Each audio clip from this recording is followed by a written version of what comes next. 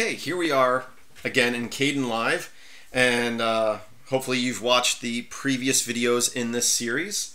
I'm to make my tracks bigger here, and then I'm going to come up here and I'm going to import a bunch of video clips and an audio clip, which is some music. So that'll all be added here. Um, I really need to change my default to match my camera, but I'll switch to fit the clips that I just imported. Now, Scrolling down here, you can see all the video clips that's generating thumbnails right now, and then the music clip. And music, of course, you can use whatever you'd like, but if you want your video to be, you know, legal and you're not creating the music yourself, you're going to need to get music that you have the rights to use. Creative Commons is a great option. And here are three sites that I use a lot that have not only Creative Commons, but uh, our Creative Commons for commercial use, all you have to do is give attribution in the videos. Uh, so first one here, lots of options here, and it's actual, you know, a lot of real instruments. And I use this the music here a lot for my home videos, which is joshwoodward.com. Uh, there you can search through his videos uh, or sorry, well, there, there are videos for each song, but search through his songs. You can do by mood, you can do by tempo, and by length if you would like. Uh, also, if you when you click on a song, again, he usually has a YouTube video, he'll have his lyrics, um, but he also has a download for the MP3, but most importantly, he has a download for instrumental because lots of times when you're doing a video, you just want instrumental in the background. So there you can listen to the song when you choose it. When you go to download it, he asks for your, your email account just so he has a, you know a record of who's using his music. You know, he, he's very organized here, giving you tags and tempo and measures and everything for the music and the key it's in. So that is one website I use. Another one, and this one you have heard music by this guy before, uh, Kevin um, uh, Mc, MacLeod uh, from Incompetech.com.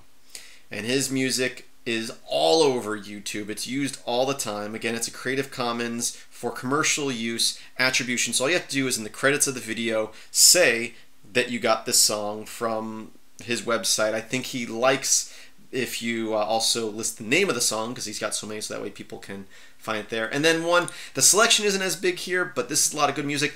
Uh, Bensound ben sound uh, I describe a lot of this music, not all of it, but a lot of it is like presentation music. If you're making like a commercial or doing like a presentation for somebody, it's all like that kind of music. You know, there's like elevator type music. They also have like some dubstep in here and stuff. Uh, but we're actually going to be using this cute. So I'm giving him attribution right now to saying bensound.com. In fact, when you go download one of his songs and you click download, it says all you have to do is get say music by bensound.com and so you can put that in the credits of your video. Um, and then, of course, they have a pro license if you don't want to, ha to have to give credit. You can also get a, a WAV file if you want a higher quality clip. I'm just going for the free MP3 here. Let's go back to our edit here. So let me go ahead and drag my music down. So today we're just going to actually edit a video. Now, if you pull a video down with uh, no video clips, you'll hear the audio, but see no video. In the project monitor, in the clip video, clip editor, if I press play here, you actually see little waveforms, which is nice. And of course, you can see the waves here, so it makes it easier to know where and when to cut. Now, let me give you some advice on video editing, especially when it comes to home videos. Look at all my clips here. They're all three or four seconds. I'm going to tell you right now, for the most part, and when it comes to this, it's an art, so it's all rule of thumb, but watch TV shows, even TV shows like Law and Order or something, where someone's in a room talking to somebody, and count the number of seconds before they cut to a new camera angle. I, in most cases, and not all the time, but in most cases, they will cut to a new camera angle in under six seconds. Lots of times it's a lot. You don't realize how much they change camera angles until you start counting. And lots of times, uh, especially in high action stuff, but even just people talking, it will be like one, two, maybe three seconds before they cut to another camera angle. So my goal usually when I'm recording, and of course you also have to know your music. If your music's up upbeat, you probably want shorter clips. If it's a slower song, longer clips is a little bit better. And uh, in fact, these clips, I said, most of them are three, maybe four seconds long. Um, and that's actually a little slow for this music. So in reality, if I was to edit this, I'd probably either pick a slower song or trim these clips down, which I actually have a script that will trim clips, all clips in a directory to the length I tell it to. But uh, all my clips are like that, and it's going to save you a lot of editing. That way you don't have to trim them. Most my videos, my home videos, are just like this. I drag and drop, and right now I'm 99% done.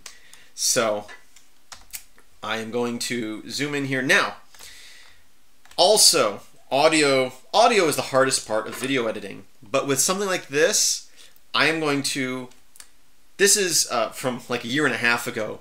This is a clip of my my daughter and actually it's probably longer than a year and a half ago. This had to be two years ago. Um, my daughter and some of her friends at an event in town where they got to go look at big trucks dump trucks, garbage trucks, fire trucks, and it's very noisy. So I'm really not going to use any of the audio except from one or two of the clips.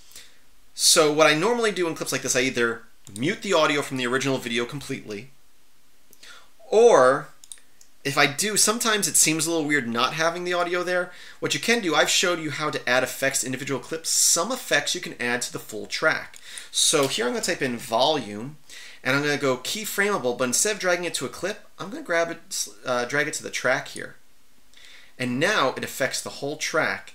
And I can actually lower this down, and when I press play here, let's see if we get a clip where there's actually more audio, but let's see.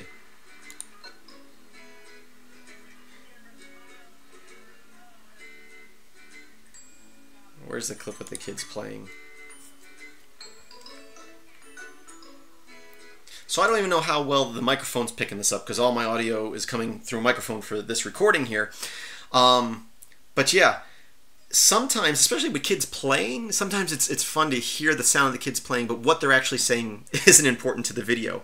So I'll do this like I just did, where I'll lower the audio way down so you can still hear it and you get the feel, you get the atmosphere of the of the of what the scene is, but the audio isn't isn't a big deal. But even then, if one clip is louder than other, you might have to go in and fade it in and out, and that adds extra work. And with something like this, it's really not necessary. So what I'm going to do is I'm going to forget about that. I'm going to remove that.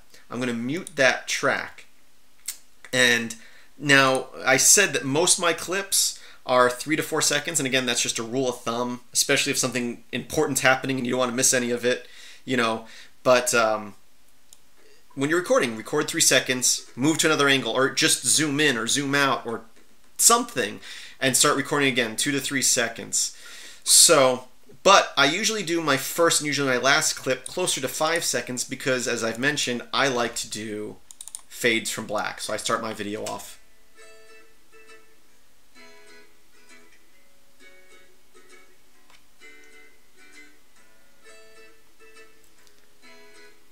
So and again, I actually I feel like this video the clip should have been closer to two seconds long. And also, especially if it's a home movie, people really don't want to watch your home movie if it's more than two or three minutes long. So we were at this event for an hour, hour and a half, and I got this is every clip that I, I recorded while I was there. I got some still shots too, but these are all the, the clips. And you can see I, it's it's only two and a half minutes. It doesn't need to be longer than that. Uh, just a rule of thumb, because I'm just talking from experience. Back in the day, I used to record hours and hours of video and then try to trim it down, but still be like 15 minutes long for something like this. No one wants to watch that. Um, you know, unless there's a plot that people are following, something like this, people like, you just want to remember it. You want to remember what your kids look like, and remember what you did. So short little clips like this are great. So again, 99% done. Few things I want to change here, just sc uh, scrubbing through all the video here. So it ends with my daughter spraying down some some uh, cones with the fire hose there with the fire truck, which is the fire department I work for, which is really cool that I have clips of her doing this. Um, but earlier in in the clips, right here, we ha I have video of the fire truck pulling up. So what I want to do is actually want to I'm going to move this, and this is more editing than I do in most of my home videos because usually I'd be 99% done right now. Um, and I put them here. So now we have all day with the truck, and then right here, the fire truck shows up, right?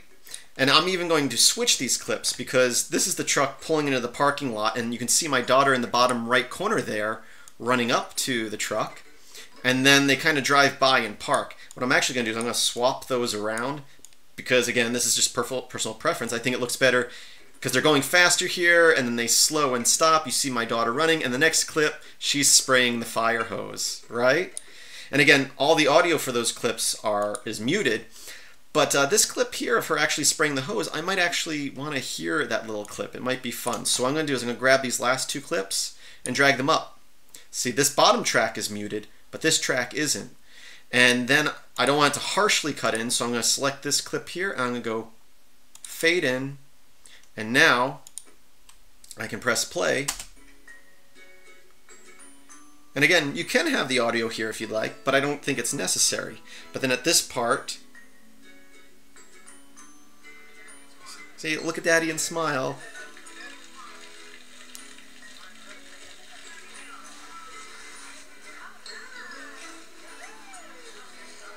Course, then it just cuts out there. So I'm going to do is I'm going to select this last clip. I'm going to go fade to black and fade audio out.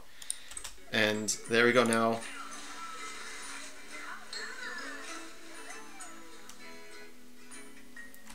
Now, uh, the last part of this would normally be um,